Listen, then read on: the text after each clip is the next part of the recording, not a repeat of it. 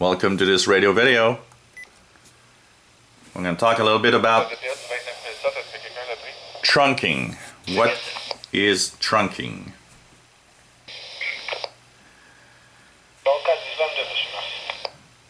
Here I am presently listening to local frequencies from the uh, transit bus system in Montreal. You can see that my scanner shows the frequency, the channel that I've programmed it in, but it tells me something. At the bottom it says ED with a ID number right here. ED is for EDACS. It's one type of trunk system. And the ID you see here is the tag that is attached to the communication between uh, the tower and the bus. So this is what you usually have. You'll get all that information in trunking and what that information enables is that you can program the frequencies and you can let the scanner follow a conversation. So for example, if I'm scanning a conversation, here there's somebody that has a, a mic that's stuck. If I want to follow a conversation in trunking, I've got here right below a button called trunk. And if I press that button, it gives me ID hold, ID hold on. That means that that 0073 ID that I'm looking at here is going to be hold. My radio is going to respond only when it receives a signal from that ID and none else. So even if there's other communications going around, it's not going to open. It's going to tell me, okay, I'm waiting for that communication to come back. Here you see that 073 just tagged. So what it enables you is to follow a conversation. And why uh, do you need trunking for that? Trunking is a special system. What happens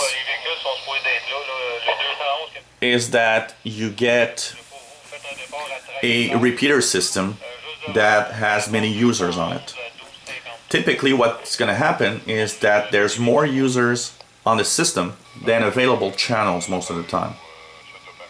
And in that repeater, there's a computer that will actually give IDs out to the transmitters and to the different users when they ask to talk.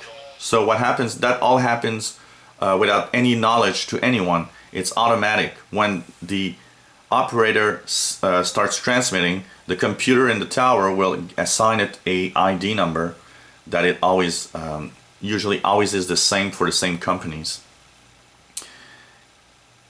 And it's going to send to the receiver information to say, oh, uh, go to that frequency.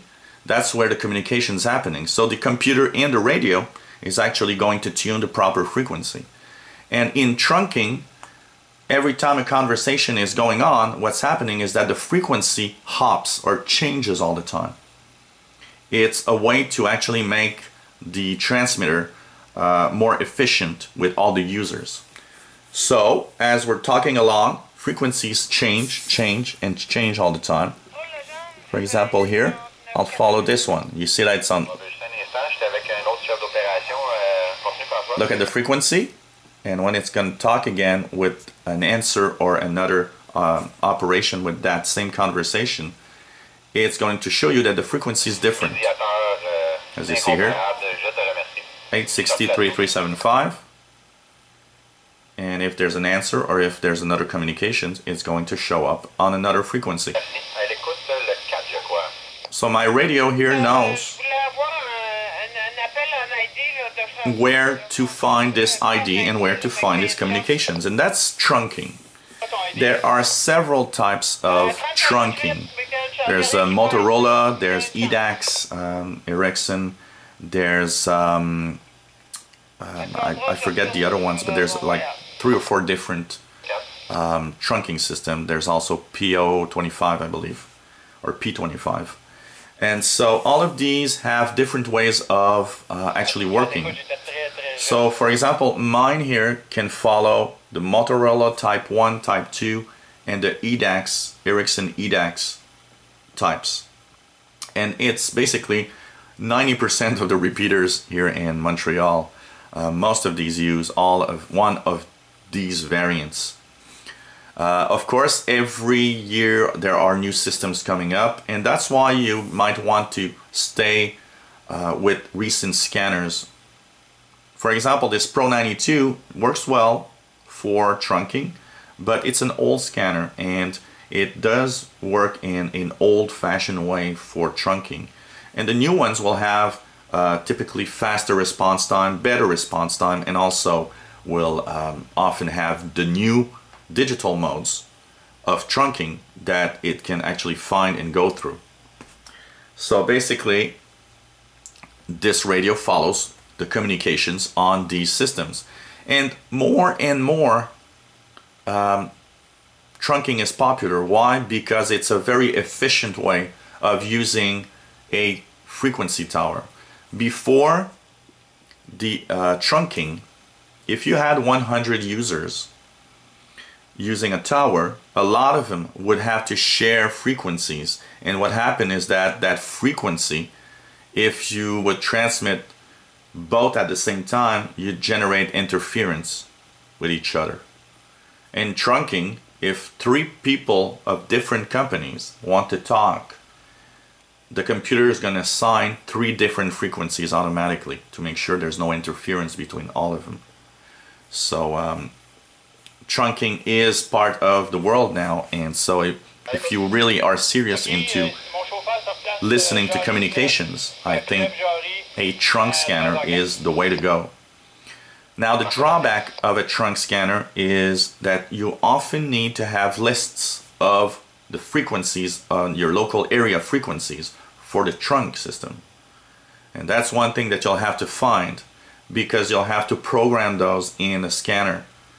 And some systems, like for example this EDACS system for uh, my the transit system, is even more complex because you have to enter the frequencies in a certain order and put the control channel on the first channel so that it can actually find the ID.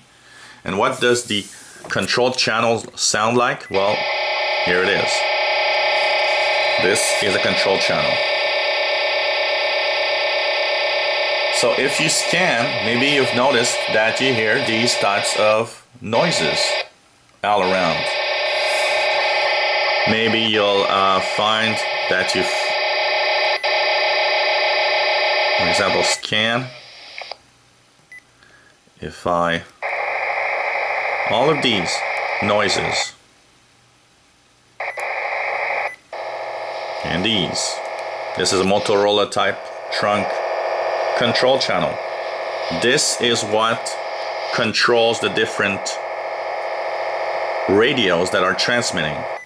So you got modes like EDACS and LTR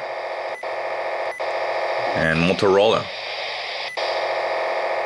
So depending on what you want to hear, you choose the type of um, trunking system on your scanner. And once you've programmed the frequencies and found the frequencies and programmed everything, all you have to do is just scan around and when you want to follow a conversation, then all you have to do is press the trunk button to simply hold on to a conversation.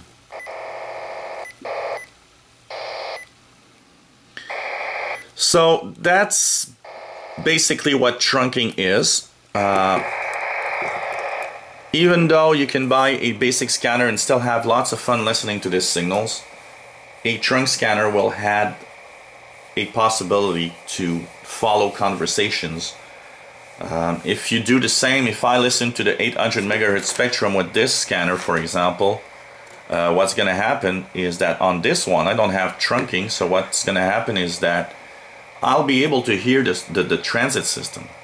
It's just that I'll have to scan and try to find where the conversation is actually going on on the different channels. and that can get a little annoying. Uh, you'll probably get more random communications coming through. So uh, that's trunking. It's uh, not the very technical way of uh, explaining it, but it's the visual and uh, hopefully the easiest way for everyone to understand what trunk is. And uh, hope that uh, if you have a trunk scanner or you're planning to buy one, you'll have fun. It's a great way to actually uh, get into the radio hobby and uh, makes things much much easier once everything is programmed to listen and follow conversations. What's also interesting is with trunking you can uh, see the tags and uh, find what company uses what tag. So afterwards you know that okay when it's uh, tag 4438 that is UPS for example. And every time you find that you will be able to follow it. What's cool also is that most scanners that have trunking have alphanumeric displays like this one. So you can take that and actually write oh UPS you can identify with letters what you're listening to so that's also a very very nice advantage so for example um, one that I've actually tagged here is uh, the police so if I listen to the, the police notice that it says police on my display because I've decided to tag police. You see here is a PL tone. That will be in another video. I'll show you what a PL tone is and why it exists. So hope you enjoyed the video. 73.